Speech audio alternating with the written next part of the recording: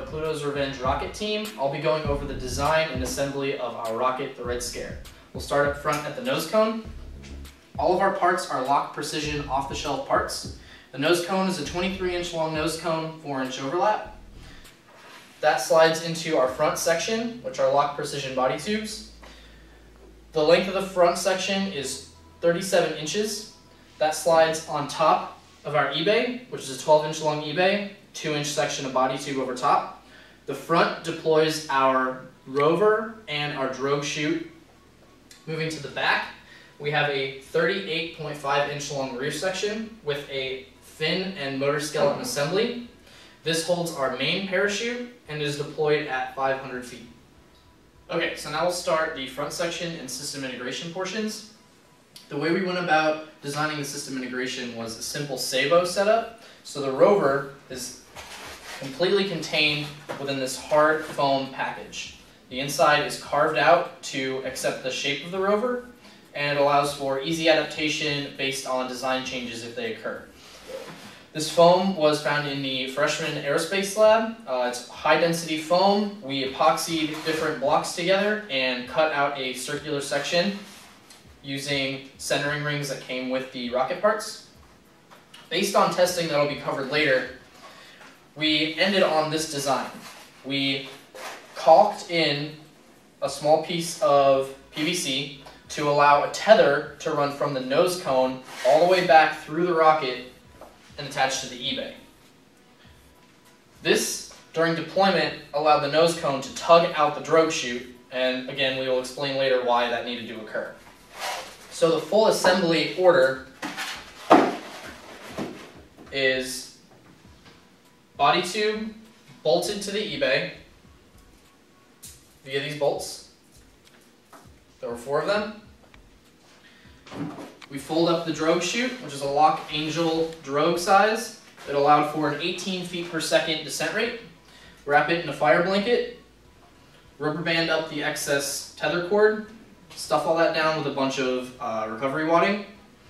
The Sabot and rover package with the rover chute contained on top pushes down on top of the drogue chute.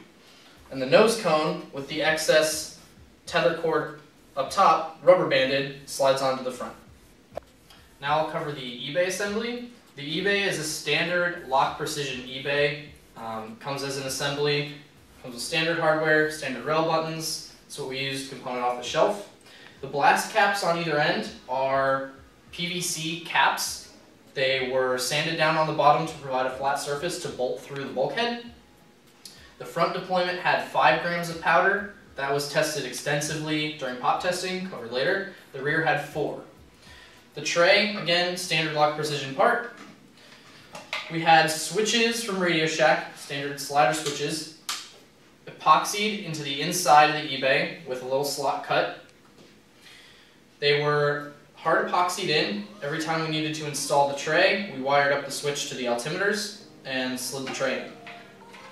The batteries, 9 volt batteries that power the altimeters are held in by PerfectFlite 9 volt battery clips. They are bolted to the tray and we slap a piece of duct tape over top to keep it steady. They are perpendicular to the direction of flight to prevent them sliding out of the tray. The altimeters were set to uh, drogue deployment and a preset of 500 feet for main. We ran two altimeters so we had two E-matches going to the drogue deployment and two E-matches running to the main deployment. And this was to give a dual redundancy in case of faulty E-matches or a faulty altimeter or dead battery. Alright, finally we'll go over the rear section of the rocket. The rear section starts over here with the eBay which was just covered. The main body tube slides over the eBay and is attached with one shear pin. The deployment was performed with 4 grams of powder, which was pop tested. We have the main parachute covered in a fire blanket. It's a Lock Angel large and allowed for a descent rate of less than 18 feet per second. That's tethered to the back bulkhead of the eBay and was tethered through the rear section and double eye bolted to the front bulkhead of the motor skeleton assembly, which we'll cover in a second. A bulkhead or centering ring was epoxied inside the rear tube. Four holes were drilled to accommodate the four holes necessary for attachment on the motor skeleton. Two rail buttons were installed 16 inches apart. The motor skeleton, constructed to be adaptable and accept disposable fins, mates up with the centering ring on the inside of the rear section. We have two eye bolts with a bridge tether to prevent spinning and detachment of the parachute. That's tied to the main tether up to the main parachute. We also have epoxied in two bolts that slide through the centering ring and a nut is slid on through the top to attach everything together. Slots were cut in the rear section tube to accommodate the fins. The fins are attached in between two posts, two pillars. Holes were drilled through all three, and the fin is bolted in. The motor that slides into the motor skeleton is an Aerotech J800. With the Aerotech J800, we achieve an altitude simulated of 13 to 1400 feet, and the margin with this weight in the back is roughly 1.68 loaded.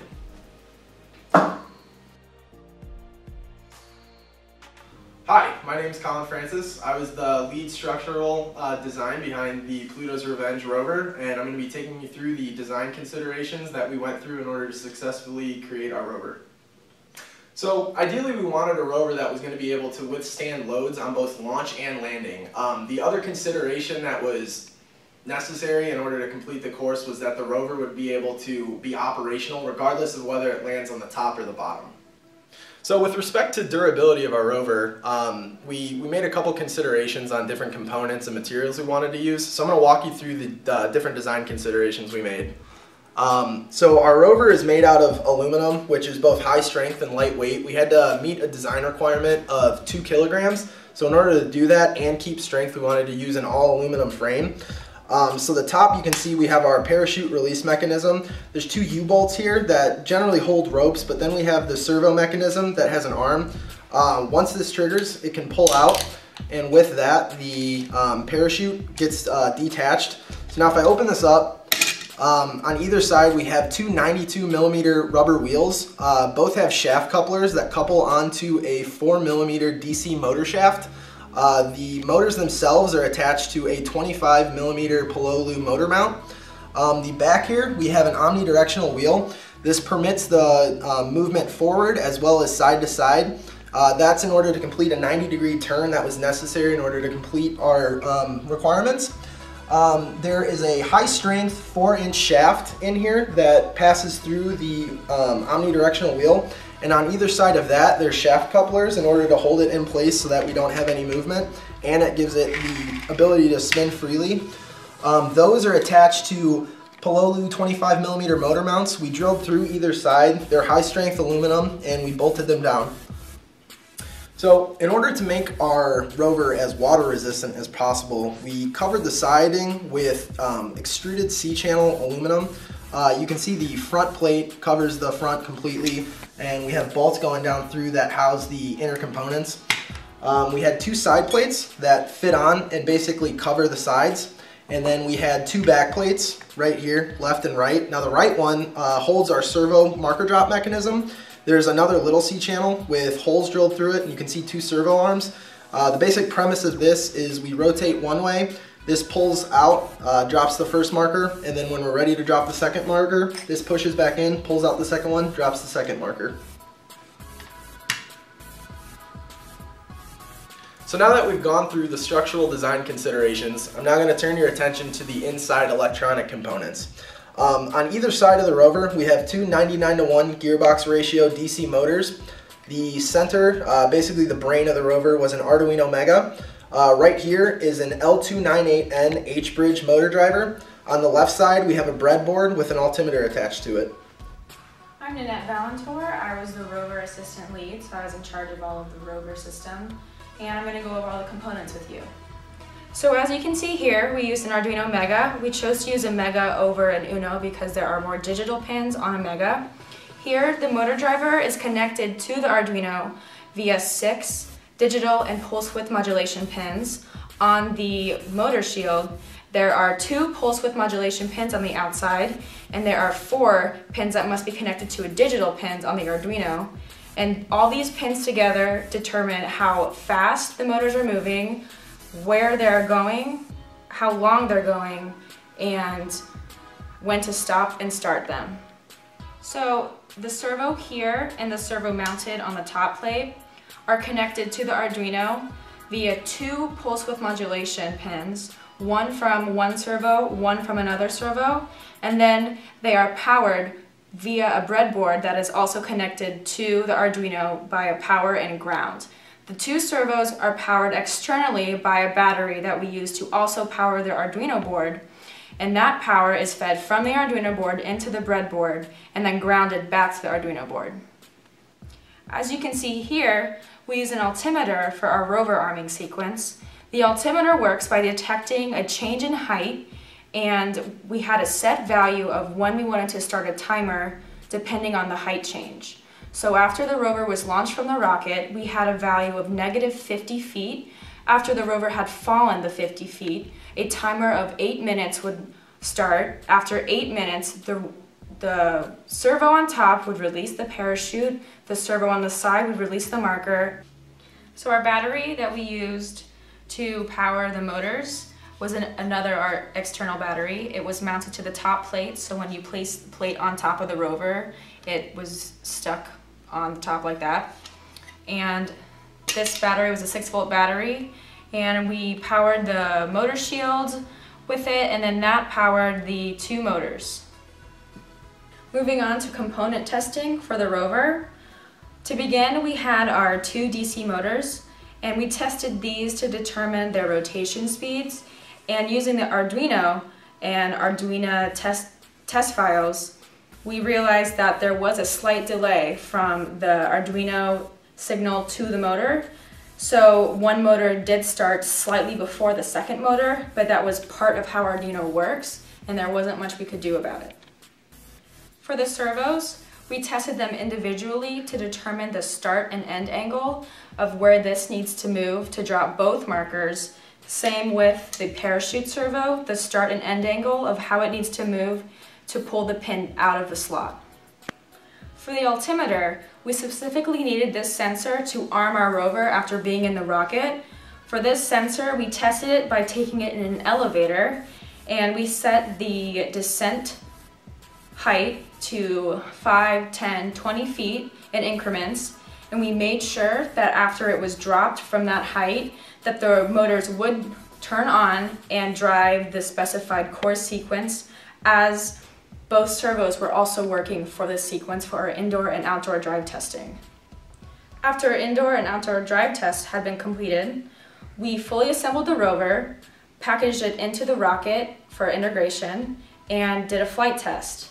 The flight test verified both rover and rocket designs were correct and were final. The test plan for rocket design was performed after every step of the design and all the way through until competition day. Once a design was decided upon, a rocket model was generated to check clearance fits. Based on those results, we moved into physical clearance fits for the components before fabrication to prevent manufacturing waste. Based on those clearance fits, the model was completed, fabrication was completed, and we entered pop testing.